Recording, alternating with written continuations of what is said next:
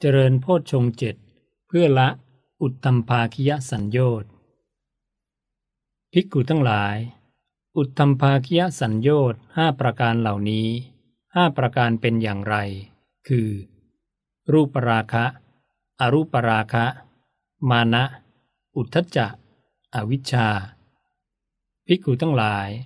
เหล่านี้แล อุตตัมภาคิยสัญโยชน์ห้าประการ ภิกขุทั้งหลาย โพชฌงเจ็ดอันภิกุพึงเจริญ เพื่อความรู้ยิ่ง เพื่อกำหนดรู้ เพื่อความสิ้นไป เพื่อละ อุตตัมภาคิยสัญโยชน์ห้าประการเหล่านี้ภิกุทั้งหลาย โพชฌงเจ็ดเป็นอย่างไร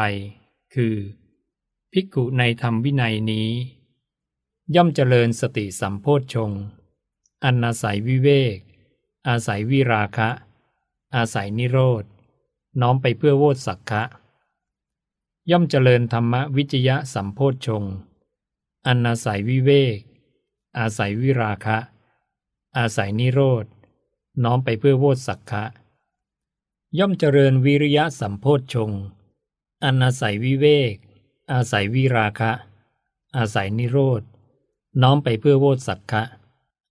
ย่อมเจริญปีติสัมโพชฌงอันอาศัยวิเวก อาศัยวิราคะ อาศัยนิโรธ น้อมไปเพื่อโวตสักคะ ย่อมเจริญปัสสธิสัมโพชฌงอันอาศัยวิเวก อาศัยวิราคะ อาศัยนิโรธ น้อมไปเพื่อโวตสักคะ ย่อมเจริญสมาธิสัมโพชฌงอันอาศัยวิเวก อาศัยวิราคะ อาศัยนิโรธ น้อมไปเพื่อโวตสักคะย่อมเจริญอุเบกขาสัมโพชฌงค์ อันอาศัยวิเวก อาศัยวิราคะ อาศัยนิโรธ น้อมไปเพื่อโวตสักคะภิกขุทั้งหลาย โพชฌงเจ็ดเหล่านี้ อันภิกขุพึงเจริญเพื่อความรู้ยิ่ง เพื่อกำหนดรู้ เพื่อความสิ้นไป เพื่อละ อุตตัมภาคิยสัญโยชน์ห้าประการแล